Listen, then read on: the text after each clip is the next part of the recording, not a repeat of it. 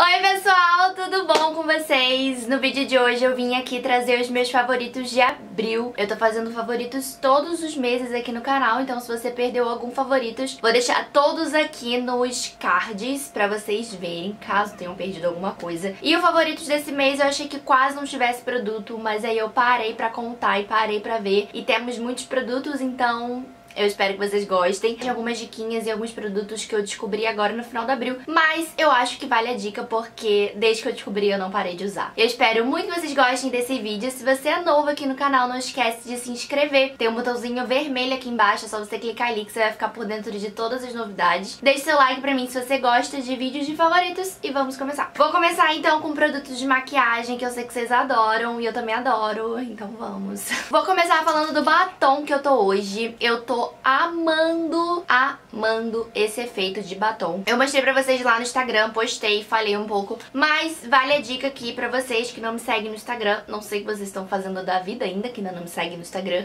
Aquelas. Mas, gente, olha esse batom. Pera, vou dar um Olha isso! Eu fiz uma misturinha, mas o que dá esse efeito assim mais glow, mais bonito, é essa cobertura vinil aqui da Disse Berenice. Você coloca qualquer batom e aí qualquer batom vai ficar com esse efeito. Então você pode ter o seu batom mate com efeito de vinil. Eles dizem que é efeito de vinil, mas fica um efeito meio de gloss. Então se você não gosta de gloss, não aconselho comprar. E eu acho que fica super bonito em foto, em vídeo, dá um efeito assim diferente, sabe? A gente tá tão acostumado hoje em dia com batom mate que a gente até esquece do gloss e tudo mais. E tá voltando isso porque tá voltando bastante os anos 90, né? Ele tem um efeito assim que meu namorado apelidou de efeito baba.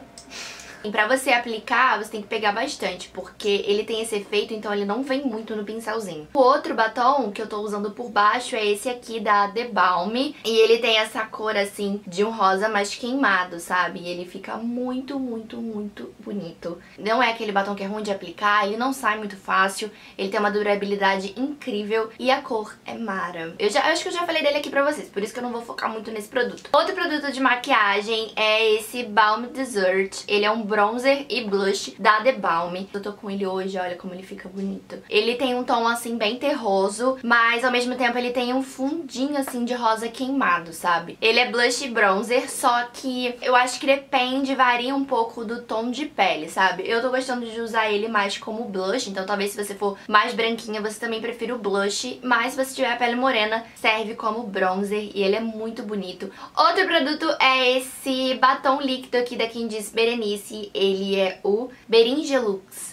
E ele é maravilhoso. Esse batom é sem condição. Ele reflete a luz, tá vendo? Olha que coisa mais linda. Ele fica muito, muito, muito bonito na pele. Ele faz parte da coleção da Quem Disse Berenice de batons metálicos. Então ele é metálico, ele é berinjela e eu acho que é super a cara do outono. Uma das coisas que eu tenho mais gostado nesses batons assim metálicos da Disse Berenice é a textura que ela fica na boca, sabe? Às vezes você, de tanto aplicar batom, fica com a boca um pouquinho rachada. Mas esse da Disse Berenice, eu sinto que eles são mate, mas não são aquele mate que agarram na boca e ficam lá, sabe? Por mais que a durabilidade seja boa, não é aquele batom que craquela. Próxima coisa de maquiagem é esse rímel aqui da Art Deco. Ela não é uma máscara de alongamento, ela é uma máscara de volume, não que ela não dê alongamento, mas não é específico de alongamento. Você também pode aplicar uma máscara assim de volume e depois vir com uma máscara de alongamento. Normalmente é o que eu faço, mas hoje eu tô só com a máscara de volume mesmo. Ela é All In On Panoramic Mascara. De coisas de cabelo, eu trouxe pra vocês esse shampoo e condicionador aqui do Phil Smith. E eu tô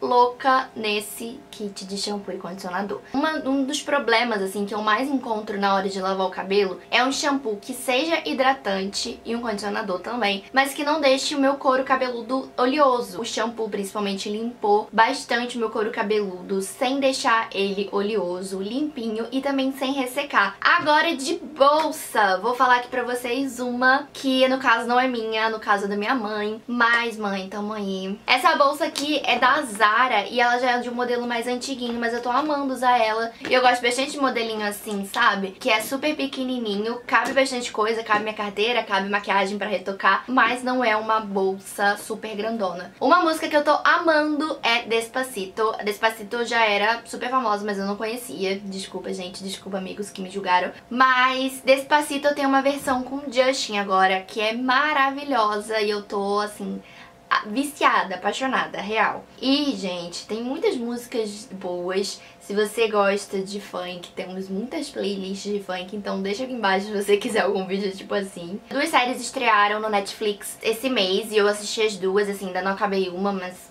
Calma, Milena. Eu, sempre, eu tenho uma mania de fazer isso, né? Sempre adiantando o que eu vou falar. Uma série que foi super bombada e foi super comentada também foi 13 Reasons Why. Teve muitos contras, teve muitos a favores sobre ela. Até o sexto episódio, ela é bem chatinho. É aquela série que você acha chato, mas você quer continuar assistindo porque você quer saber o que, que vai acontecer depois, sabe? A partir do sétimo episódio foi ficando mais legal. É uma menina que ela se suicida e ela deixa 13 fitas para as pessoas, que no caso as pessoas são os 13 porquês dela ter se matado. Eu acho que é um assunto que a gente precisa discutir muito.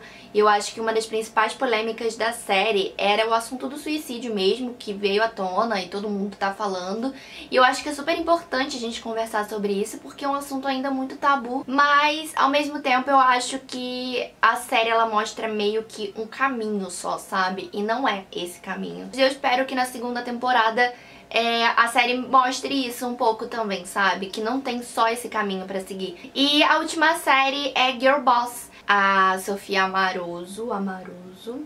E essa série contando a história da Sofia. Ela não tinha assim nada, nenhum propósito na vida, mas ela cria a Nastigal e é uma história verídica, é uma loja que existe, a Nastigal, inclusive sou louca pra ir nela. Eu adoro o livro, eu adoro a forma com, como ela escreve, como ela vai contando e ela vai dando dicas ao longo do livro. O livro se chama Girl Boss. Eu tô achando que o livro é melhor que a série, sabe? Eu adoro a atriz que tá fazendo a série, que é a Brit, eu não sei o sobrenome. Não sei, não tô gostando muito. É uma série que eu tô vendo, mas nada que tá me prendendo muito atenção, sabe? Então é isso, pessoal. Eu espero muito que vocês tenham gostado desse vídeo. Se você gostar de favoritos, por favor, não esquece de deixar o seu like pra mim, que é super importante. A gente se vê no próximo vídeo vídeo.